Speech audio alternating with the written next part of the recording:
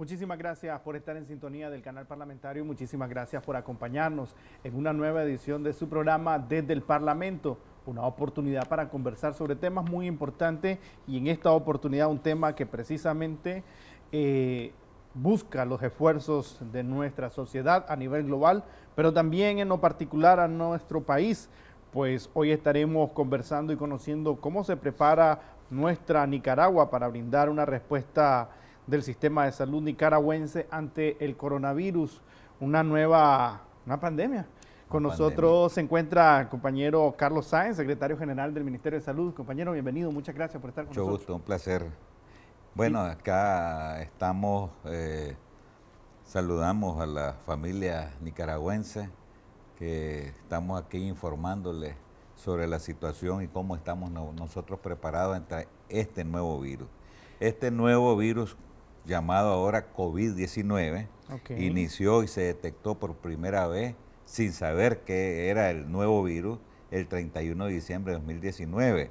Luego, eh, como la investigación refleja de que esto se, contrajo, la enfermedad, de un mercado que se dedicaba al marisco, entonces cerraron el mercado y comenzaron a investigar para ver cuál era la fuente. Hasta este momento no han determinado la fuente, pero sí este es un virus que se mantiene entre varios tipos de animales que son hospederos, o sea, que convive con ellos y se transmiten la enfermedad de manera natural.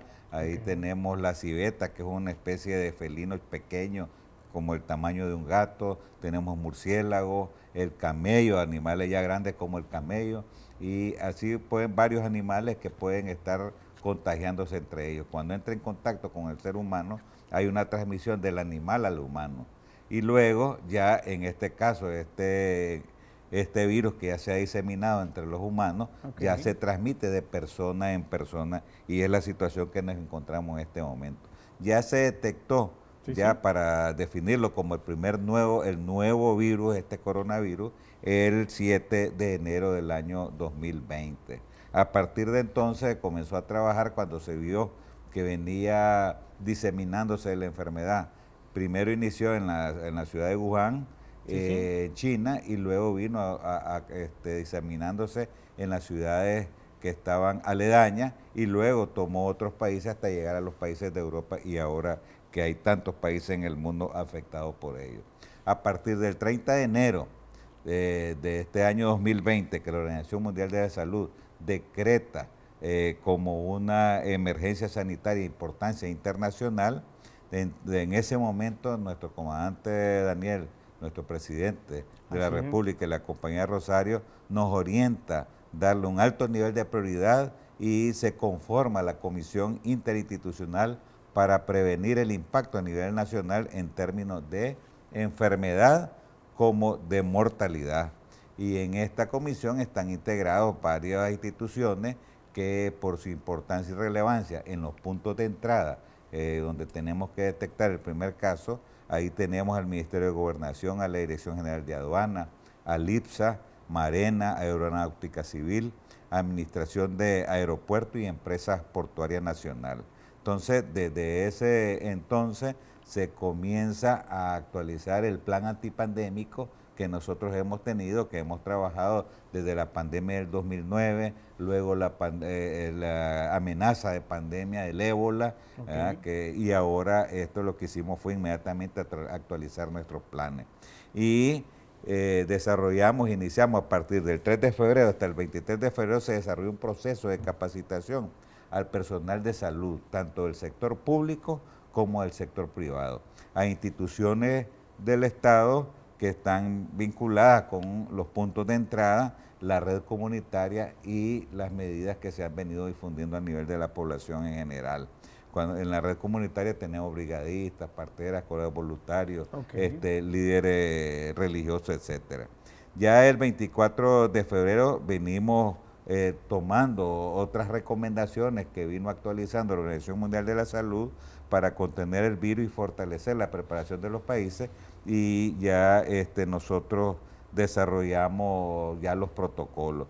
En relación al luego se eleva el nivel de, de importancia y el 11 de marzo ya la Organización Mundial de la Salud declara una pandemia a nivel mundial. Y ahí, doctor, eh, discúlpeme que le interrumpa, eh, solo para consultar y que nuestra audiencia esté clara más o menos las dimensiones de lo que ello implica con esta declaratoria eh, del parte de la Organización Mundial de la Salud, declararlo como pandemia. ¿Qué significa para, para la humanidad y qué implica esto para nosotros como país?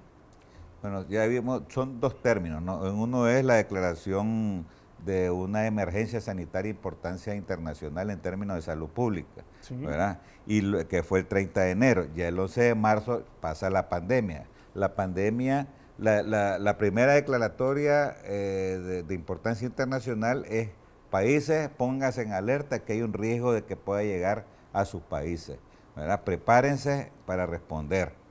Y ya la pandemia dice, ya dice, ya trascendió a muchos países. Es más geográfico, ah, más territorial, ¿no? Cuando trasciende una gran cantidad de países, entonces yo la voy a definir como pandemia que ya esto va a dar la vuelta a todo el mundo.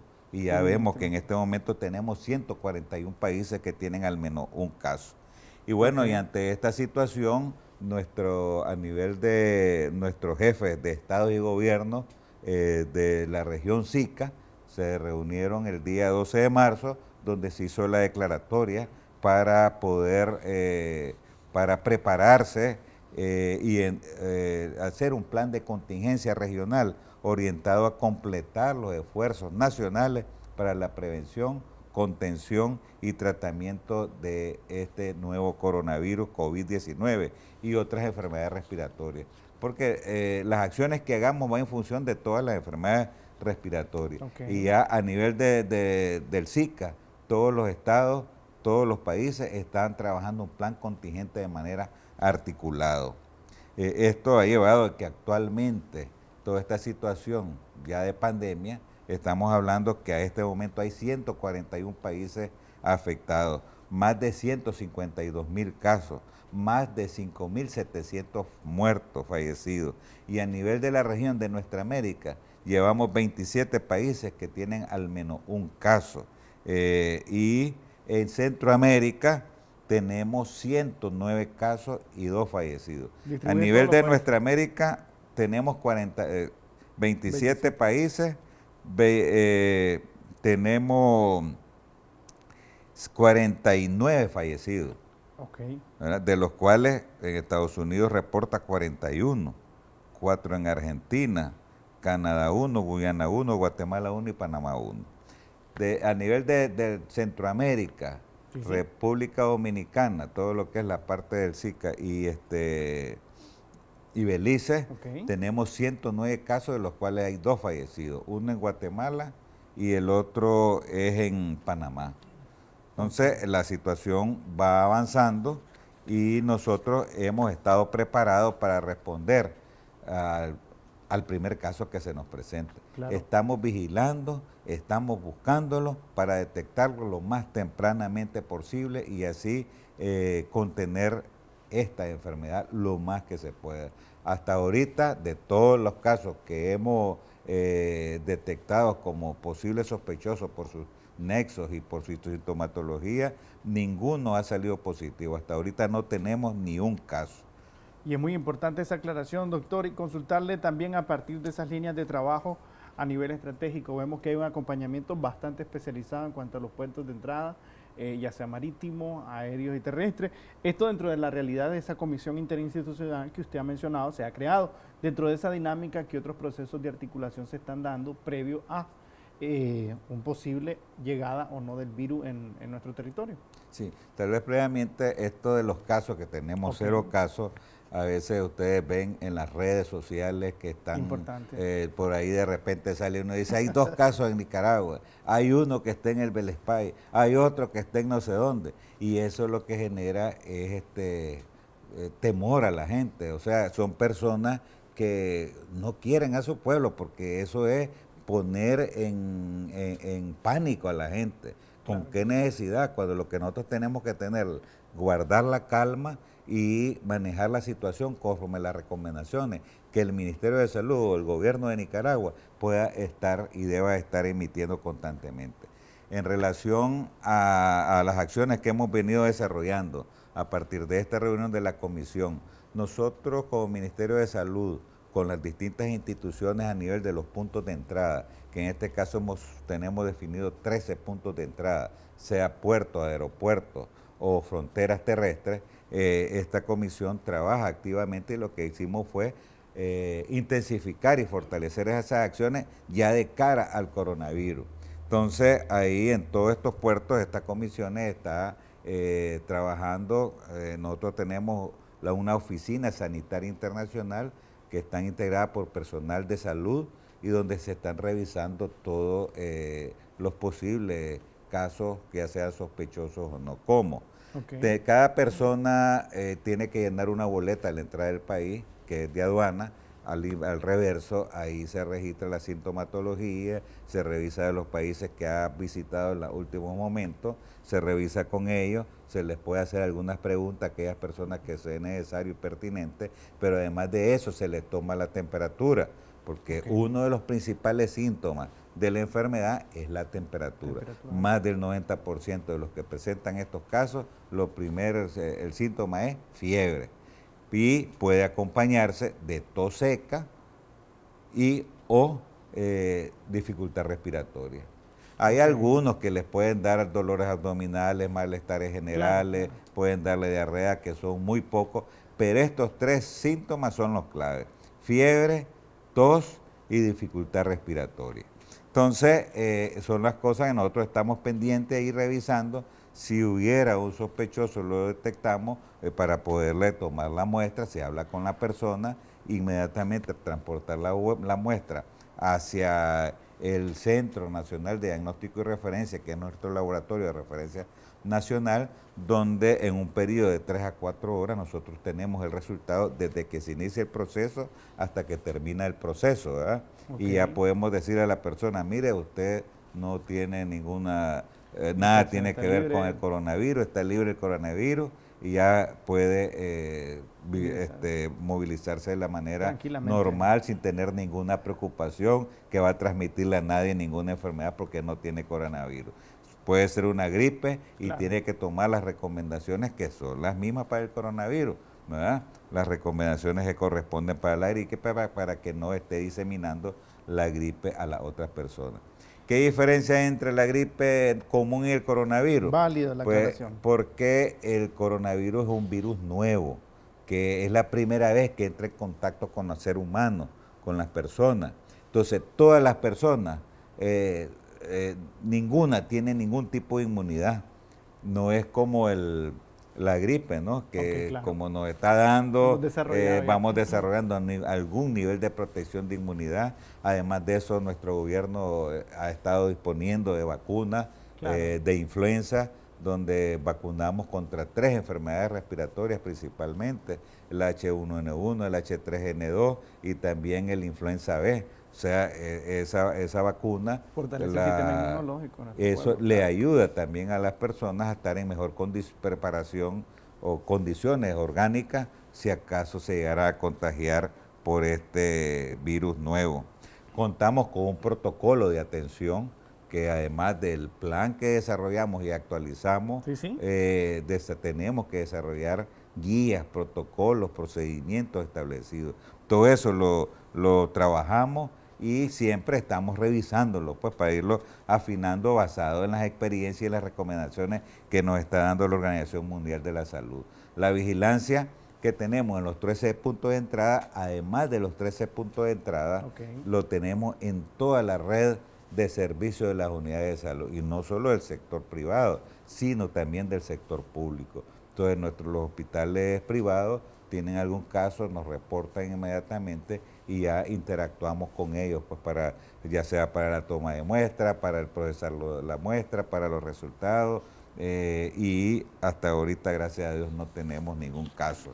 Tenemos 19 hospitales que están designados y organizados para atender cualquier persona que presente esta sintomatología, principalmente para aquellas personas que tengan complicaciones, que, tengan que esta enfermedad se convierta en una enfermedad grave o una enfermedad muy grave o crítica.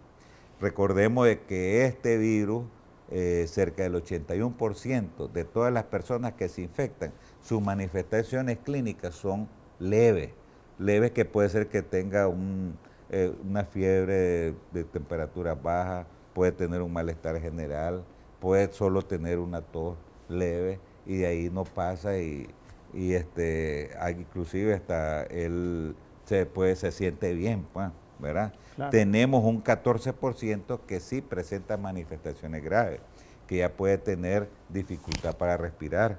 Entonces, al tener dificultades para respirar, además de la tos eh, y la, fiebre, eh, ya puede presentar malestar en general. Entonces, esta persona requiere estar en, cuidado, eh, en hospitalizado para brindarle la atención y no se complique a una situación muy grave o crítico que el 5% de todos los que les da esta enfermedad pasan a esa condición muy crítica.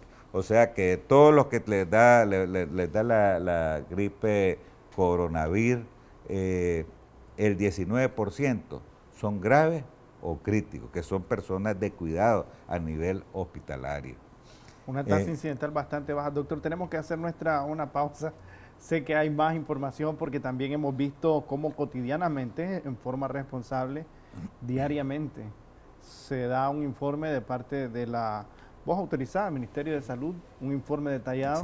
En principio para eh, evaluar cómo avanza nuestro pueblo en función de garantizar métodos de prevención y protección y después cómo avanza el mundo entero también en sus acciones pertinentes de cada nación. Hacemos una breve pausa y ya volvemos.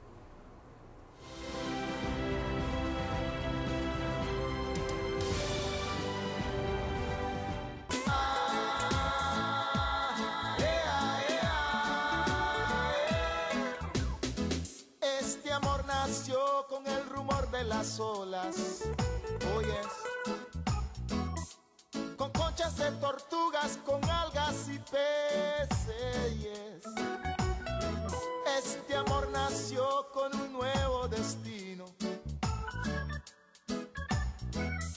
Siguiendo la huella del amor divino. Reggae de coco para vos. Reggae de coco corazón. The coconut reggae. The coconut reggae is from the heart. Las aves tejieron el cielo encendido. Hoy, hoy. Y en la selva, en el silencio, construyen su nido. Con conga, quijongo, maraca y cencerro. Cencerro. Bailamos la danza en el aguacero.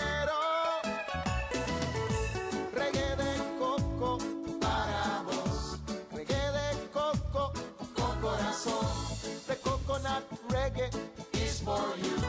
The coconut reggae is from the heart.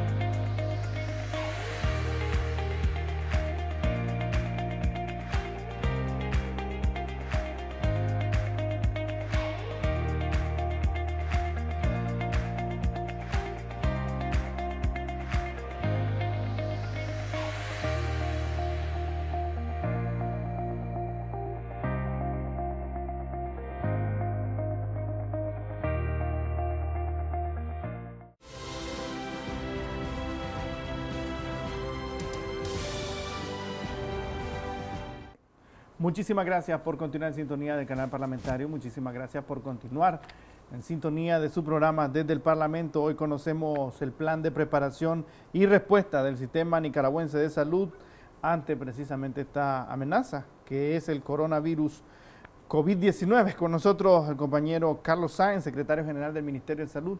Eh, doctor, un poquito entender la perspectiva de trabajo articulado a nivel internacional del Gobierno de Reconciliación y Unidad Nacional. Eh, vimos eh, cómo los presidentes del SICA se reunieron en forma virtual a través de una videoconferencia en la que intercambiaron opiniones, pero también emitieron pronunciamientos y acciones como región en conjunto. Conocer cómo se articula nuestro sistema de salud, en este caso lo hemos visto muy cercano con la OPS, OMS, pero en la región, ¿cómo nos articulamos y cuán importante es este proceso?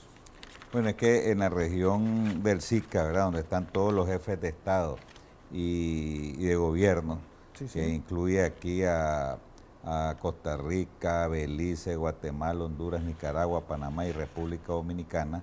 Son ocho países del SICA, incluyendo a Honduras, desde luego. Este, el 12 de marzo hubo una reunión virtual donde el, presidente del SICA, eh, el expresidente de Guatemala, el Vinicio Cerezo, hizo una convocatoria y eh, en esa convocatoria hubo una declaratoria, una declaración y donde este, se orienta a las distintas comisiones a trabajar de manera, de manera articulada. Entre esas comisiones tenemos la comisión del COMISCA, que este, es la, el Consejo de Ministros de Salud de Centroamérica y República Dominicana, pero hay otras comisiones que están involucradas, el COMIECO que tiene que ver con el comercio, el CONCADECO eh, y así sucesivamente, ¿no? Tenemos el que tiene que ver con la parte de este de la parte de las emergencias eh, ante situaciones de riesgo, ¿verdad? Que este todo el equivalente a los SINAPRED. Exacto, todo el SINAPRED que este. Exactamente. Eh, entonces, para todos ellos se hizo una recomendación de que se trabajara el plan de contingencia regional orientado a implementar los esfuerzos nacionales para prevención, para contención y el tratamiento del COVID y otras enfermedades de rápida propagación. Y es así que se ha estado trabajando y se tiene toda esta semana para tener un plan articulado con todas estas comisiones en cada uno de los países para presentar a, presentar a los ministros en los próximos, en los, perdón, a los jefes de Estado y de gobierno en estos próximos días para que sea aprobado. Y ya a la par se están haciendo acciones, de, tiene que ver con ejecución de financiamiento, compras conjuntas, eh, una serie de acciones que tienen que ver de protección a la población de la región. Independientemente de eso, nosotros hemos venido trabajando en términos de protección y de preparación nos hemos preparado con todos los insumos. Hicimos un análisis de, si aquí viniera este, este virus, eh, cuáles serían los distintos escenarios que podríamos tener y cuál sería el peor escenario. ¿verdad? ¿Cuántas personas graves podríamos tener en el peor escenario y personas muy críticas que tendrían que requerir de los servicios? Entonces, para eso decimos, este, para atenderlos, cómo los vamos a atender, qué equipo vamos a requerir, tanto personal como equipo técnico, eh, como insumos, medicamentos, material de reposición periódica, equipo de protección personal, todo eso, y base a eso hicimos inventario de lo, de lo, de lo que tenemos en existencia y hemos garantizado todos esos insumos necesarios para responder y ante los peores escenarios estamos preparados para, para hacer, desarrollando las gestiones eh, de de consecución de todos estos recursos para hacer algún complemento necesario para poder enfrentar esta situación. Ahí, este es un virus nuevo, no tiene vacuna ni tiene tratamiento. Sin embargo, hay varios estudios donde eh, hay varios estudios que se han hecho en las experiencias eh, en China y en los distintos otros lugares donde estaba afectando, como Italia, Irán, Corea del Sur, eh, donde han hecho investigaciones de los posibles medicamentos que pueden mitigar y mejorar la condición eh, del paciente y, que no se complique, ¿no? que pueda responder mejor ante la enfermedad. Y ante esos tratamientos nosotros estamos preparados y tenemos existencia para darle esa atención a nuestra población nicaragüense. Y sin duda una característica del sistema de salud nicaragüense y de los ejes de trabajo del Gobierno de Reconciliación y Unidad Nacional en términos generales es precisamente ese proceso informativo y de acompañamiento a nuestro pueblo. Le consulto a partir de esto, eh, porque la semana pasada la compañera Rosario Murillo, vicepresidenta, eh, pues compartía con nuestro pueblo los procesos de información y sensibilización que se están haciendo, en principio dentro del Ministerio de Salud mismo, pero posteriormente también a las instituciones que brindan un servicio más continuo con la, con la población u otros que tienen contacto directo con poblaciones que nos visitan eh, desde el exterior. y conocer cuán importante es ese proceso de información y de sensibilización hacia nuestro pueblo. Bueno, en primer lugar, eh, es importante que todos conozcamos y estemos claros de qué significa este, esta enfermedad y cómo debemos de enfrentarla cada uno de nosotros. Si todos estamos claros es más fácil, ¿no? Articularnos y trabajar unidos y es por eso de que nosotros, con orientaciones de nuestro presidente y la compañera Rosario, hemos venido teniendo eh, reuniones de capacitaciones con los distintos jefes de toda la red del país, de cada una de las instituciones, el Ministerio de Educación, las alcaldías, los alcaldes, este, el cuerpo académico de las universidades, este, la, juventud, eh, bueno, y así cada una de las distintas instituciones y seguimos trabajando eh, en términos de capacitación para que todos estemos claros qué significa este coronavirus, sus síntomas, cómo se transmite y cuáles son las medidas preventivas. Y la compañera Rosario nos ha orientado a desarrollar esta jornada de intensiva de educación eh, preventiva para que toda la población eh, en el país pueda conocer cómo podamos juntos nosotros prevenir esta enfermedad. Si entra esta enfermedad a Nicaragua y sepamos cómo nosotros ante una persona que tiene enfermedad debemos de comportarnos, tanto dentro de la, de la en la casa, en la familia, como en el centro de trabajo. ¿Qué medidas tenemos, debemos de tomar? Y como decís, el Ministerio de Salud ha venido todos los días informando a las 3 de la tarde sobre el seguimiento a nivel mundial, el comportamiento mundial de la enfermedad, como también cómo vamos trabajando a nivel nacional. Y también hemos venido capacitando a las distintas instituciones de salud público y privado, como también a las instituciones que están directamente involucradas en la parte de atención como en los puntos de entrada, así como la red de líderes comunitarios, eh, líderes religiosos, entonces todo eso, eh, este, conforme vayamos cada vez difundiendo más y más las medidas preventivas, nos va a ayudar a que enfrentemos todos juntos, desde la familia, cada persona en la familia, de cada una de nuestras comunidades, podamos saber qué hacer en cada momento. Y es importante ese aspecto que usted menciona porque eh, determina precisamente eh, la realidad y el comportamiento de nuestro pueblo frente a realidades como esta que son eminentemente globales. Eh, conocer un poquito el trabajo que también están realizando dentro de esa dinámica de articulación con el sector de salud privada. Le hago esta consulta porque de repente eh, vemos que en otros países eh, funcionan como desconectados, es decir, y hay como una suerte de subregistro. Lo vimos en Ecuador que presentó un problema y tuvo que pues precisamente elevarse la urgencia a que tuvieran acceso, ¿no? Y brindaran información correcta y oportuna al sistema de salud privado, al sistema público, pues para mantener una estadística estándar del país. ¿Cuán importante es ese proceso y eh, cómo avanza esta realidad en Nicaragua? Claro, es que esa relación la hemos tenido siempre en términos de vigilancia epidemiológica, ¿no? Ya sea cualquier caso sospechoso de cualquier enfermedad de notificación obligatoria, este, inmediatamente nosotros nos notifican, nosotros inmediatamente vamos a hacer la investigación epidemiológica y en conjunto con ellos tomamos las medidas pertinentes o correspondientes. Pues. Y, en términos de esta situación, de esta enfermedad, ellos inmediatamente presentan un, sospechoso, nos lo notifican y así de manera articulada vamos trabajando y vamos siguiendo el caso, ¿no? porque tenemos que hacer la investigación en, el territorio, los contactos, posibles contactos, etcétera. Entonces, esa relación es bien importante, ¿no? Porque nosotros como rectores de la salud eh, eh, interactuamos con suma responsabilidad con todos estos sectores eh, privados, pues no, porque si, eh, si no se volvería un caos, pues que cada quien haga lo que, lo que quiera hacer. Entonces aquí trabajamos de manera articulada en el sentido de cómo responder ante estas situaciones epidémicas y entonces eso creo que también nos va a ayudar muchísimo.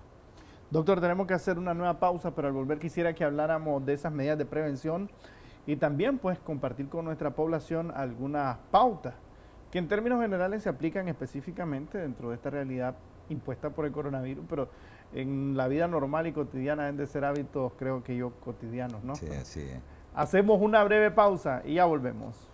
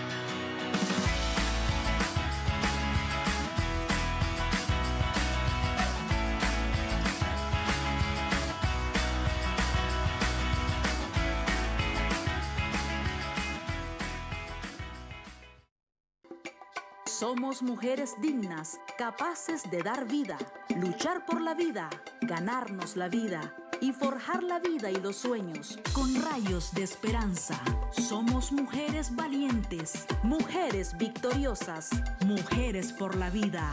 Aquí en nuestra Nicaragua libre.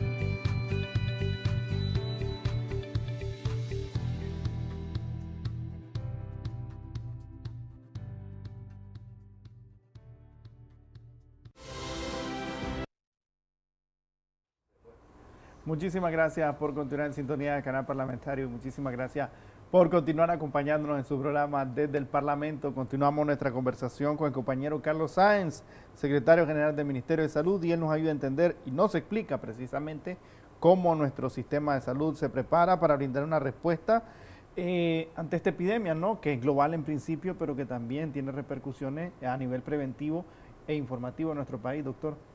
Bueno, eh, es importante ¿no? que nosotros eh, sepamos que en el país tenemos un laboratorio eh, nacional de diagnóstico y referencia que tiene reconocimiento a nivel internacional por parte de la Organización Panamericana de la Salud y la Organización Mundial de la Salud y está certificado y además de eso tiene se hacen controles de calidad de otros laboratorios supranacionales sobre los procesos que nosotros tomamos. Entonces nosotros tenemos como, eh, como que nos hacen un examen para ver cómo estamos, nos mandan muestras en ciego y las tomamos y siempre hemos tenido un, eh, este, una, una armonización, coincidencia del 100%. Entonces eso a nosotros nos, llena de orgullo, porque además de tener un laboratorio de alta tecnología, con biología molecular que tenemos muchos años de trabajar, que es con los que trabajamos para detectar muchos virus, los virus respiratorios, eh, los virus del dengue, eh, distintos virus que podemos nosotros detectar y que tenemos reactivos. Acá, el hantavirus, este, el virus mapuche, oropuche, eh, cualquiera de todos esos otros virus que no circulan en Nicaragua, pero como circulan en otros países cercanos, nosotros tenemos también estos reactivos para tomarlo. Entonces, eh, desde el 30 de, enero que, se notifica que es una alerta sanitaria internacional, nosotros adquirimos reactivos para estar preparados y además mandamos a recapacitar a una persona, a un laboratorio supranacional fuera del país, eh, para nuevamente recordar todos los procesos, ¿no? Y entonces hizo antes, es decir, esto no es hasta ahorita que lo Claro, no, tenemos más de 20 años de trabajar en biología molecular, ¿no? Y, este, siempre como un requisito hacemos un refrescamiento, ¿verdad? Eh, y en ese refrescamiento exclusivamente para el coronavirus, que es un nuevo virus, ¿verdad? que usa la misma técnica, pero usa reactivos específicos para él. Entonces se manda a capacitar a alguien y eso todos nosotros los técnicos que trabajan en biología molecular son los que manejan esta técnica. Y actualmente pues tenemos los reactivos suficientes y es con los que hemos estado trabajando en todos estos días, todas las muestras que nos han llegado eh, diariamente. Pues.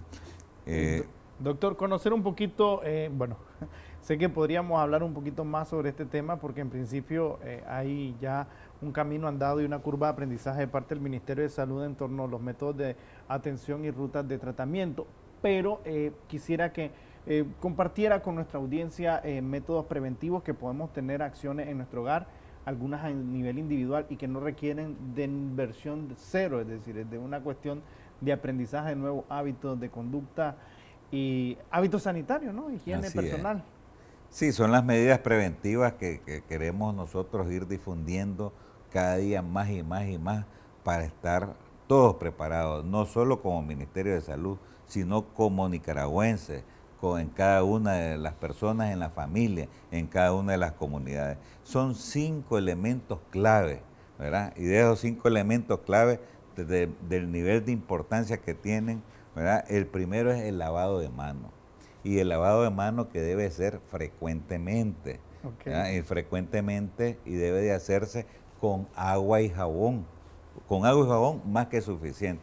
Jabón tenemos en todos lados, agua tenemos en todos lados y podemos, no hay, no hay justificación para no hacerse el lavado de la mano frecuentemente, que eso es clave para no transmitir. Solo con ese lavado de la mano, con agua y jabón, no solo nos protegemos contra el coronavirus, sino contra todos los otros virus respiratorios, contra las diarreas y muchas otras eh, enfermedades que nosotros podemos adquirir a través de las manos donde nosotros andamos cargando virus y bacterias.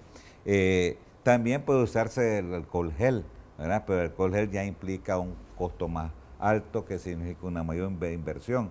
Pero el agua y jabón es más tan eficiente como que fuera el alcohol gel. No necesito el alcohol gel a menos que vaya a un lugar donde no hay agua, entonces llevo mi alcohol gel, que debo usar al menos de 3 a 5 cc cada vez que tengo que este, utilizarlo.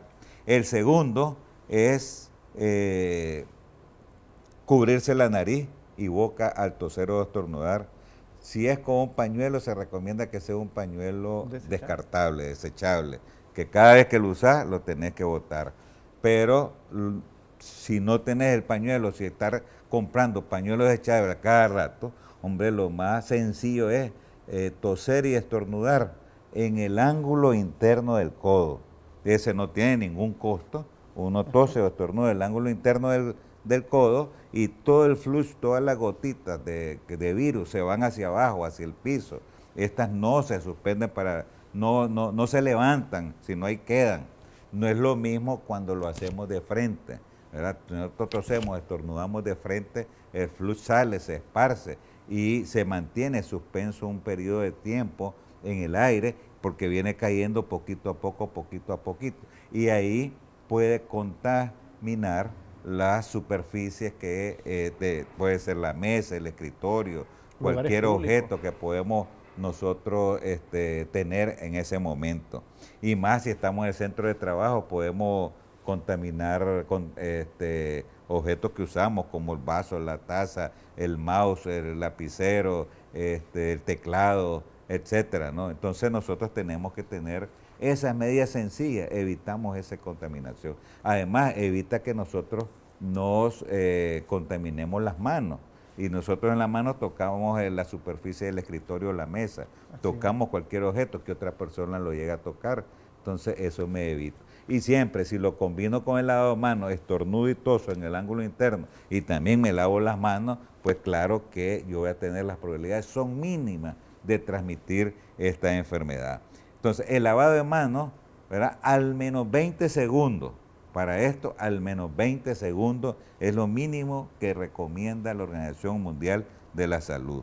Y eh, como algunas personas pueden contaminar objetos que muchos usamos frecuente, como es este estos que le mencionaba, vasos, platos, etcétera, entonces eh, hay que desinfectar o lavar estos objetos que puedan contaminarse con las secreciones respiratorias. Eh, ¿Qué puede uno usar?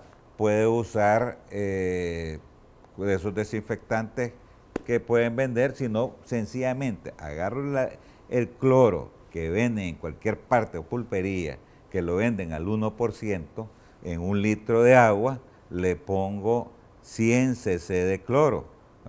Entonces, en un litro, 100 cc de cloro, y eso ya me queda una dilución al 0.5%. Eh, perdón, este es para lavarse las manos. Si hay un lugar donde no tengo, puedo usar cloro. Para desinfección le he hecho 400 cc de cloro a un litro de agua. ¿verdad?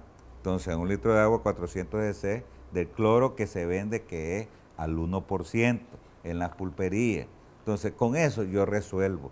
Y no necesito estar usando, porque un la isol eh, te cuesta al menos, que es el mismo cloro, pero te cuesta por lo menos unos 200 pesos, ciento y pico de pesos, no sé, depende del tamaño, hasta 500 pesos. Realmente que es accesible. Decir, es sumamente accesible. Y lo otro es que si alguien está enfermo, ¿verdad? Eh, esta persona, él tiene, la persona tiene que cuidarse y cuidar a los demás. Si estoy enfermo, ¿para qué voy a exponer a mi familia que está en mi casa? Entonces debo de tomar estas medidas, lavarme las manos también y de saber estornudar o toser y además de eso guardar una distancia un poquito más de un metro del resto de la gente. Si yo no estoy enfermo, yo tengo que guardar la distancia de al menos más de un metro de la persona que esté enferma. La mascarilla, el mito es que dicen hay que usarla a todo mundo. No es necesario. Está orientado para el enfermo y para el que va a atender al enfermo. Si yo en mi casa tengo un enfermo, está orientado que lo use para que no contagie al resto de la familia. Y si yo voy a atender al enfermo que tengo ahí reposando, entonces pues puedo usar también la mascarilla. Pero no necesito usar mascarillas para todos lados y todo el mundo. Si una persona está enferma, lo que tiene que hacer es quedarse en su casa.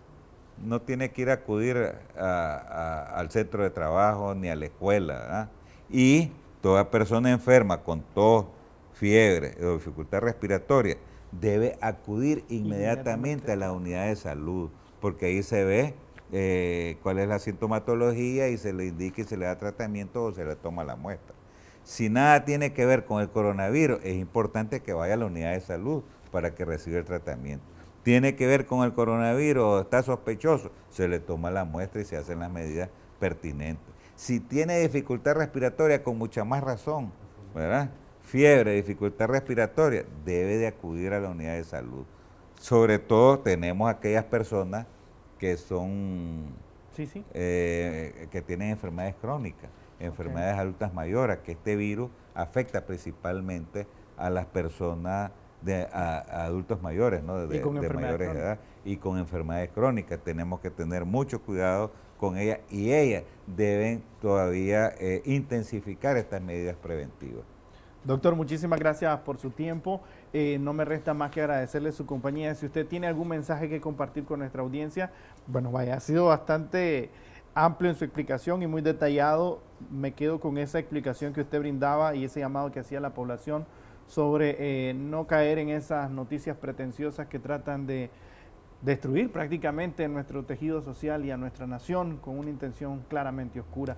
Muy importante ese aspecto que usted nos ha aclarado. Si tiene algo que compartir con nuestra audiencia, tiene el espacio para hacerlo. Bueno, eh, importante es que a toda la población nicaragüense, a todas las familias, que confiemos en nuestro buen gobierno, que confiemos en nuestro modelo de salud familiar y comunitario, un modelo que está presto para eh, defender los derechos restituidos de la población nicaragüense en términos de salud. Eh, y que podamos nosotros todos juntos ayudar, detectar lo más tempranamente los casos, que, que, el primer caso o cualquier caso que venga del exterior de afuera, porque eso nos va a ayudar a salvar vidas, nos va a ayudar a contener esta enfermedad, nos va a ayudar trabajando juntos.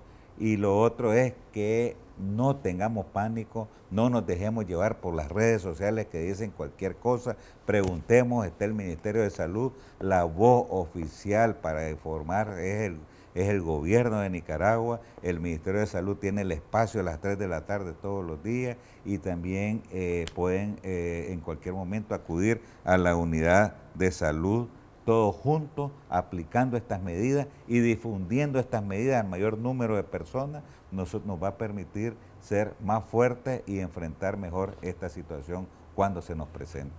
Muchísimas gracias, doctor, por su tiempo y por su espacio. Y a usted que esté en su hogar, muchísimas gracias también por habernos acompañado. A nombre de todo el equipo que hace posible la transmisión de su programa desde el Parlamento, le invitamos a que se quede en fiel sintonía del canal parlamentario, el canal de la Asamblea Nacional. Estuvo con ustedes Elmer Marcia y les esperamos en una nueva edición